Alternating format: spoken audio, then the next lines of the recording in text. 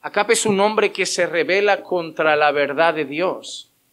Primera de Reyes capítulo 18 ahora y el versículo 16 al 18 dice, Abdías fue al encuentro de Acab y le dio aviso, y Acab fue al encuentro de Elías. Y sucedió que cuando Acab vio a Elías, Acab le dijo, ¿eres tú perturbador de Israel?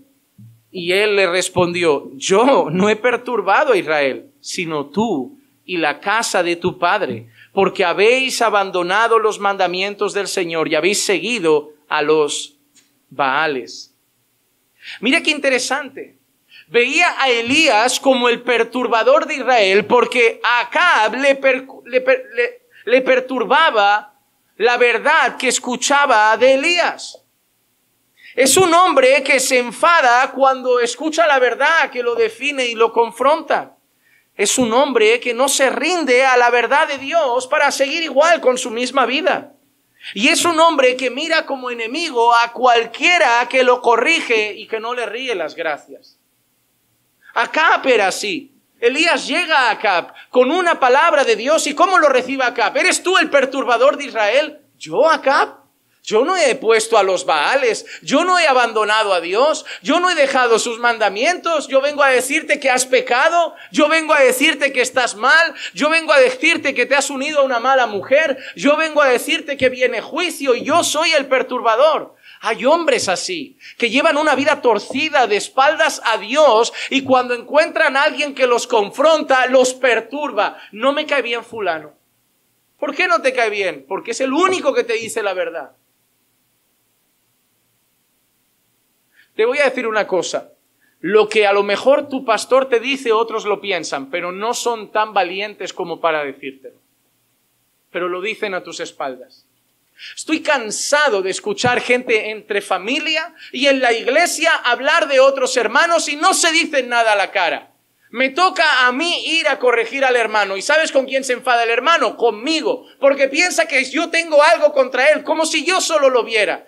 Pero la falta de integridad, la cobardía, hace pensar que como nadie me dice nada, solo tú lo ves. No, no, no. Que no te lo digan. no es que no hablen de ello. Nos molesta cuando somos confrontados con la verdad. Acap era un hombre que veía a Elías como el perturbador de Israel porque él estaba mal. Y como Elías traía la palabra de Dios, a él le sentaba mal la palabra de Dios y le perturbaba la verdad. ¿Cómo recibes tú la corrección? ¿Cómo recibes tú la palabra de verdad? ¿Te perturba? ¿Te molesta? ¿Es un exagero? ¿Tú no estás tan mal? ¿Tu vida no está tan mal? Analízate un instante. Mira tu matrimonio. No, ya no lo tengo. Pues eso te quiero decir. Y cuando yo hablo así, púlpito no es para eso. Pues nada, os vuelvo a decir lo mismo, sigamos jugando a la hipocresía. Sigamos jugando a pensar que esos son pareja cuando no están casados. Sigamos jugando a pensar que ese está bien cuando solo viene a cazar mujeres. Sigamos jugando a pensar que ese está bien cuando acaba de perder su familia. Sigamos jugando. O, o a lo mejor alguien va a tener coraje de intentar encaminar la vida de alguien con la palabra de Dios. Lamento mucho, pero los pastores de Dios no están para caer bien, están para hacer bien. Y hacer bien no siempre cae bien. A mí mi padre no me caía bien muchas veces. Sobre todo las veces que me hacía bien.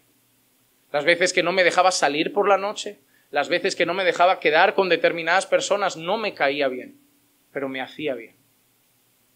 Eso pasa en la vida de muchas personas y nos enfadamos con quién nos dice la verdad, cuando la realidad es que otros lo ven, pero el único amigo verdadero, el único que nos ama de verdad, como para llevarse el momento tenso, no lo queremos.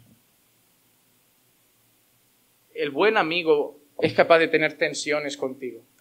El que solo se ríe contigo no es un amigo. Porque la vida no está siempre bien. Y a veces hay que tener conversaciones tensas, incómodas. Hay que decir verdades. El que no se atreve a decírtelas no es tu amigo, porque le da igual que te sigas hundiendo solo por seguir riéndose contigo. Pero el que le preocupas, el que quiere el bien para tu vida, ese no le importa tener un momento tenso, le va a costar, ¿eh? no es que lo disfrute, pero quiere tanto tu bien que prefiere tener un momento incómodo para que te vaya bien, aunque él caiga con un enfado tuyo sobre su vida. ¿Tú crees que de verdad una persona va a pensar, si le digo esto sé que se enfada, me contesta, mejor no se lo digo? Porque ya mira lo que va a recibir, reproche, enfado, tensión pero te ama tanto que dice, aunque reciba reproche, aunque reciba enfado, aunque reciba rechazo, lo amo tanto y quiero tanto su bien que se lo voy a decir. ¡Wow! Ojalá Dios levante gente en tu vida que sea capaz de decirte la verdad a la cara.